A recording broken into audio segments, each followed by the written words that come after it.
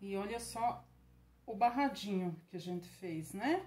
E decidi o quê? Colocar crochê novamente. Eu sou apaixonada por esses falsos crochês, né? é, o que acontece? Pintei até aqui. Ai, Priscila, eu tenho dificuldade em fazer essa emenda. Gente, se a gente pode facilitar, por que não? Para que complicar? Logicamente que você pode emendar aqui certinho. Só que, de qualquer forma, sempre vai ficar um, alguma falhazinha de repente, né? Então, como eu faço? Tanto que eu nem, nem cheguei a terminar certinho até aqui, estão vendo?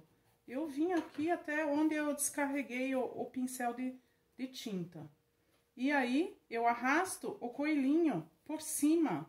Isso eu já falei em vários vídeos meus. É só arrastar o molde. Olha aqui, encaixa certinho o coelho aqui. E aí, não dá emenda nenhuma ali, certo? Pouca tinta, como eu sempre falo. E pinta normalmente. Olha aí, não vai ficar emenda certo? Se eu posso facilitar, por que não? Eu não sou obrigada a encaixar ele direitinho ali. É só sobrepor. Isso não é só com esse daqui. Todos os modelos que seguem, né, com o mesmo desenho, que são iguais, a gente só sobrepõe. Sobrepõe e aí dá-lhe tinta, né? E outra coisa é aqui embaixo. Aqui eu tô pintando sacaria. Sacaria, ela, ela chupa mais tinta. E aí, o que que eu faço? Eu passo diluente. Eu vou terminar aqui bonitinho depois. O diluente, tá? Nessa parte, principalmente da barrinha aqui embaixo.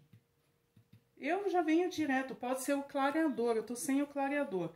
Ah, esse daqui vai, vai, o clareador, eles vão deixar a tinta mais clara. Olha aqui, eu tô com o restinho da tinta aqui. É só você vir direto aqui, ó, com a tinta. Mas olha aí como já desliza. Estão vendo que ela desliza bem melhor? Ou você dilui ela lá no teu pratinho. Mas eu, às vezes, geralmente, para facilitar, eu faço isso, ó, eu venho aqui, já coloco ali nessas partes aqui, ó, mais grossas, tá? Aí a tinta desliza. E aí preenche bem. Caso eu queira deixar essa parte aqui bem escura, né? Tá bom? Não mais não, é a tinta pura. Nessa, nessa outra parte. Esse daqui eu só usei azul petróleo? Eu vou terminando aqui. Mas vamos ver ali, olha aí. Estão vendo que a emenda não ficou? Outra coisa que eu já vi acontecendo, a pessoa pinta e o molde termina aqui, por exemplo. E aí ela vem e preenche o resto. Não! Puxa ali e termina bonitinho. Se eu comecei com o crochê, eu tenho que terminar ele aqui, ó, aqui nessa lateralzinha certo?